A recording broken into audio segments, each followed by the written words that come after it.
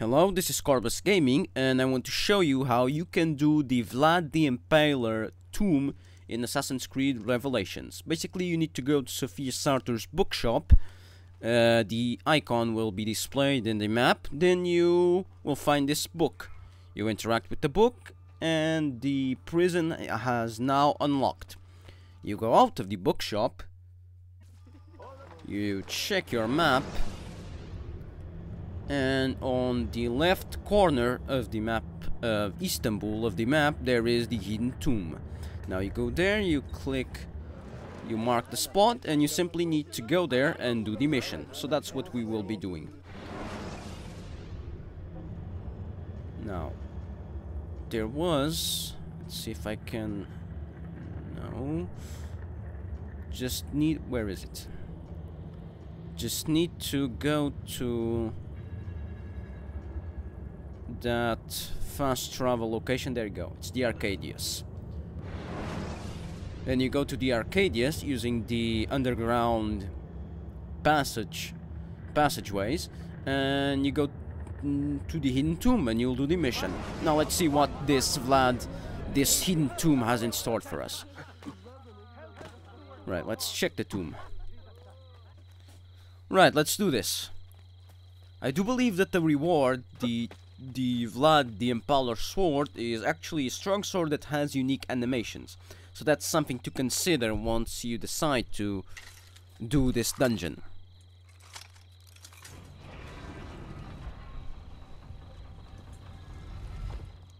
I'm going in.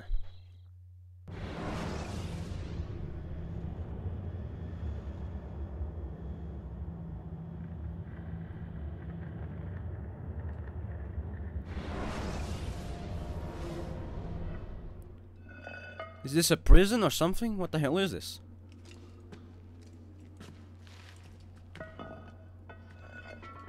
It looks like a prison.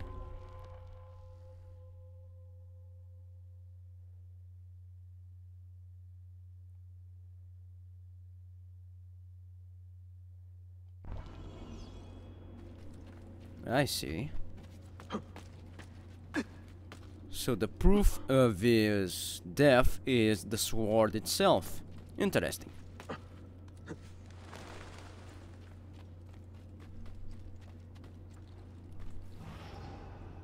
How do I go up?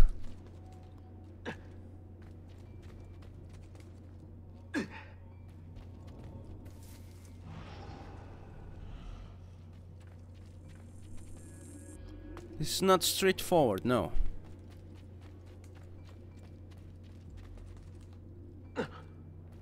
How the hell do I go up?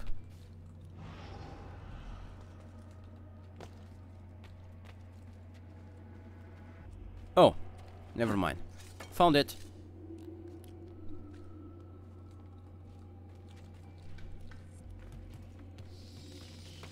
This is how you go.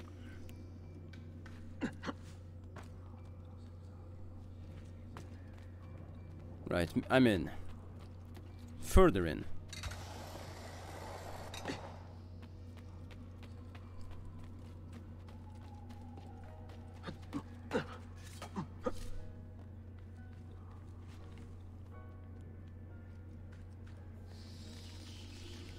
So it's remarkable how Ezio preserved his athletic ability, I cannot stress that enough. And in these dungeon missions we can clearly see that.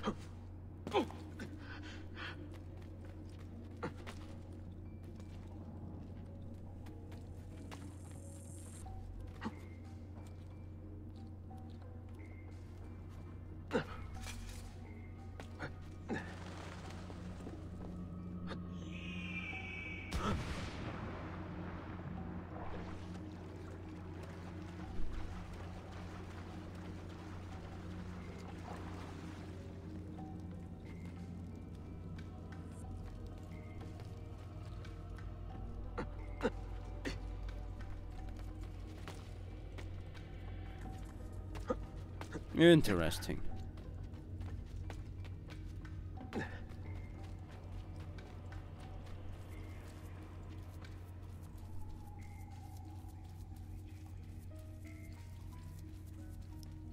Kind of resembles one of the tombs in Assassin's Creed Brotherhood. Very similar.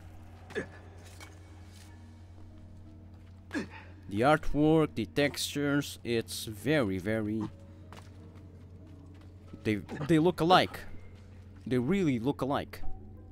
A lot.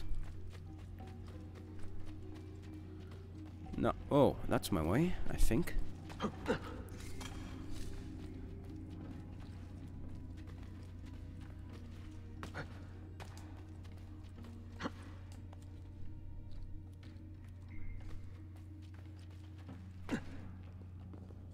Um. Oh, alright, alright. Got it.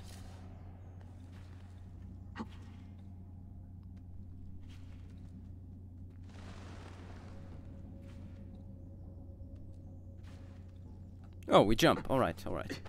Got it, got it.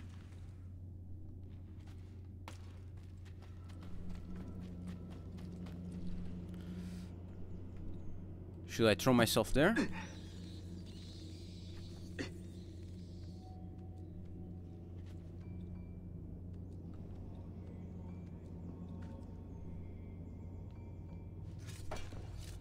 Like so.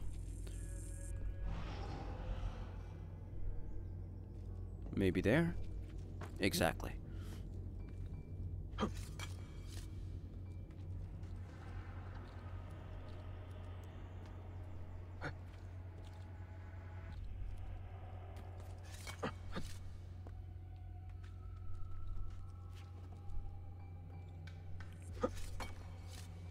Bucket eject. Good. No.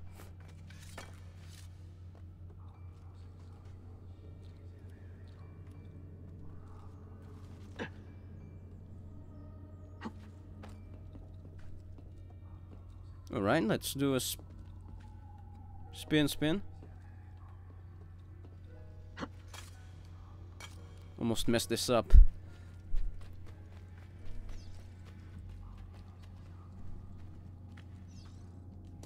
Right, here's the sword.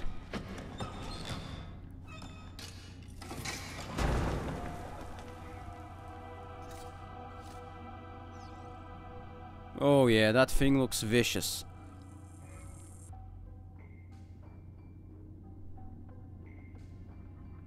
Looks vicious. Right, let's test this. Let's get out and um, wreck... Wreck everything up. Let's create chaos. I want to test this sword. I want to see the unique, brutal animations.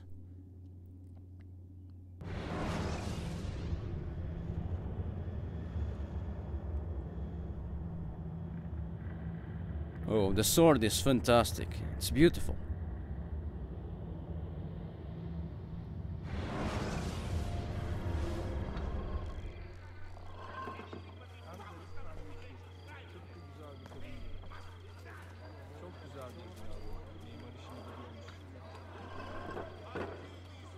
Right, let's test it.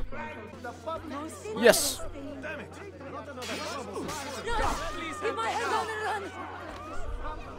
Come on, hit me.